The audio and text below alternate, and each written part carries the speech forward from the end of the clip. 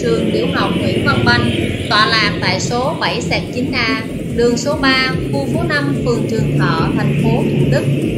Trên cung đường nhỏ, nhưng gần đây, cuộc sống đã trở nên sầm uất với mật độ dân cư đông đúc, thông ra tuyến đường huyết mạch của thành phố. Từ ngày thành phố Hồ Chí Minh nói riêng và cả nước nói chung oằn mình qua những khó khăn trong đợt dịch bệnh Covid-19 lần thứ tư nặng nề nhất từ trước đến nay, nhà trường cũng thực hiện nhiệm vụ chính trị, hòa chung xu thế của toàn ngành và các cấp trong công tác hỗ trợ khu vực xét nghiệm, tiêm ngừa và cách ly y tế. Do vậy, cơ sở vật chất nhà trường cũng như hiện trạng đã có nhiều hư hỏng cần nâng cấp sửa chữa. Để chuẩn bị cho học sinh đến trường, ngay từ khi kết thúc làm điểm cách ly y tế, tại trường từ ngày 7 tháng 10 năm 2021, nhà trường đã bắt tay vào công tác chuẩn bị về cơ sở vật chất cũng như hạ tầng cơ sở để sẵn sàng đón học sinh trở lại trường học tập. Chi đoàn trường đã chỉnh trang công trình thanh niên tại góc miền quê. Các giỏ treo trầu bà, chuỗi ngọc, trang trí tạo mảng xanh luôn được chăm tưới thường xuyên, làm nên môi trường sư phạm xanh mát, thân thiện. Các hàng rào chắn cũng được sơn sửa lại mới. Các bảng biểu, khẩu hiệu đều được thay mới và chỉnh sửa kịp thời nhằm giúp cảnh quan chung luôn xanh sạch đẹp cho tổng thể của nhà trường.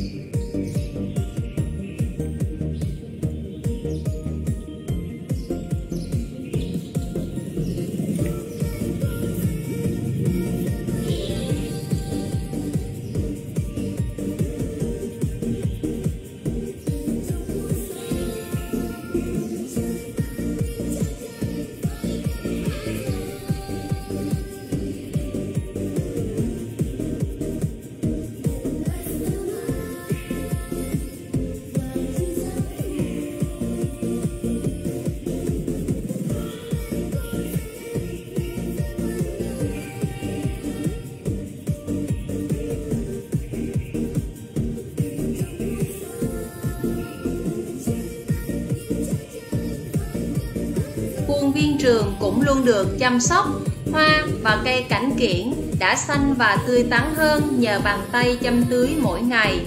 Sân trường thân thiện, được thay thế cờ trang trí, cột cờ thay bằng cờ nước mới, tung bay rực rỡ dưới nắng thu khai trường. Bên cạnh đó, các bảng biểu, khẩu hiệu trong sân, trầu bà được bố trí ở khu vực trước các lớp học, phủ xanh lối đi hành lang. Cây to đã được mé nhánh kịp thời nhằm đảm bảo an toàn tốt nhất cho học sinh khi trở lại trường.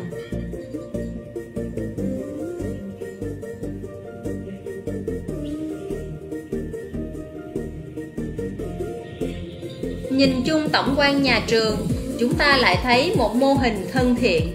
Sự ngăn nắp, chỉnh chu, bày trí hợp lý từ bàn ghế các lớp học, các phòng chức năng, tạo cảm giác thông thoáng, sạch sẽ, thân thiện.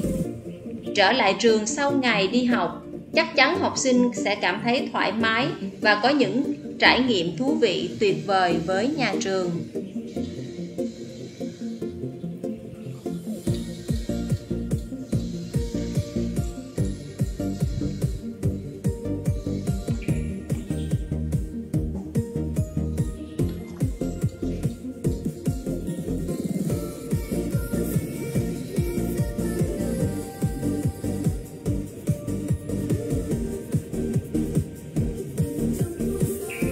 Tiếp theo là các hạng mục chỉnh sửa cơ sở vật chất về các khu vực vệ sinh cũng đang dần hoàn thiện. Các bản tin di động, bản tin cố định, kệ hoa trang trí cũng đã được sửa chữa làm mới. Song song đó, hạng mục sửa chữa nhà vệ sinh cũ và lắp thêm cửa thoát hiểm cho các phòng học đã được phê duyệt từ Phòng Giáo dục và Đào tạo đang được thi công, đảm bảo sẵn sàng cơ sở vật chất trường lớp để đón học sinh trở lại trường vào một ngày không xa nữa. Có thể nói, Sau hơn 5 tháng kể từ ngày học sinh dừng đến trường của năm học 2020-2021, cả thầy và trò trải nghiệm với việc học trực tuyến, thời gian xuyên suốt học kỳ 1 của năm học mới. Hiện cũng đang rất háo hức ngày trở lại để được dạy và học trực tiếp cùng nhau. Có thể nói, sự chuẩn bị của tập thể sư phạm nhà trường dưới sự chỉ đạo sâu sát của ban giám hiệu luôn được thực hiện kịp thời và chu đáo. Chúng ta cùng nhau chúc bình an và chống dịch thành công để cuộc sống này trở lại bình thường như vốn dĩ của nó.